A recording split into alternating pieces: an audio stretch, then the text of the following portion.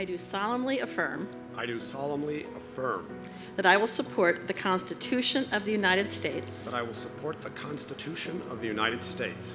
I do solemnly affirm I do solemnly affirm that I will bear true faith and allegiance that I will bear true faith and allegiance to the government established in the state of New Jersey to the government established in the state of New Jersey under the authority of the people. under the authority of the people.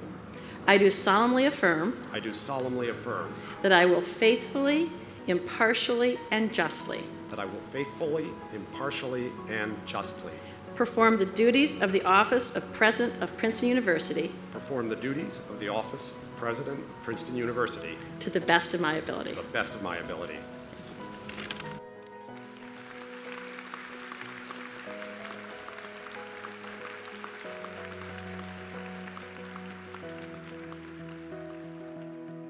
We renew the camaraderie that enlivens our commitment to this university, and we rededicate ourselves to the principles for which Princeton stands and upon which it depends.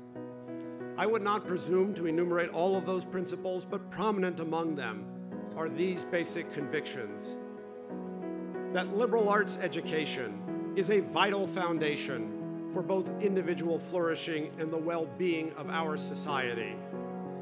That scholarship and teaching are mutually reinforcing activities, that scholars learn from their students' questions, and that students learn best when they are exposed to and can participate in research that extends the frontiers of knowledge.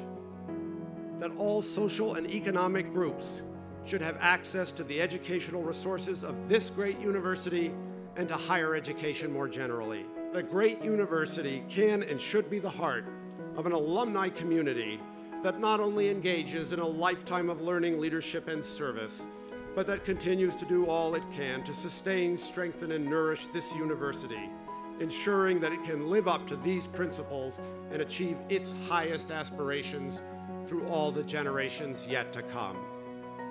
I am honored to accept the presidency of this, our beloved university. Thank you for welcoming me so warmly this afternoon. Thank you for coming back once more to Nassau Hall.